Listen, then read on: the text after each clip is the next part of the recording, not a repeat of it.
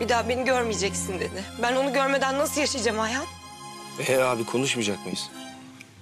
Bir getir götür elemanı bu kadar geç kalamaz. Böyle bir şey olmaz. Kabul edilemez. Neredeymiş öbürü? Ee, açma telefonu ben de sesli mesaj bıraktım. Can da telefonunu açmıyor. Birlikte olma ihtimalleri var mı acaba? Dur.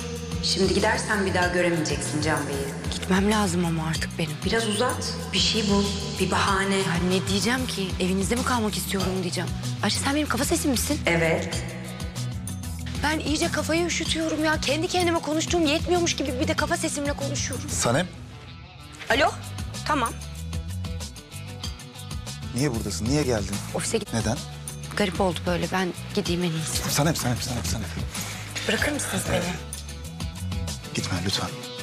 Erkenci Kuş yeni bölümüyle Salı akşamı Star'da.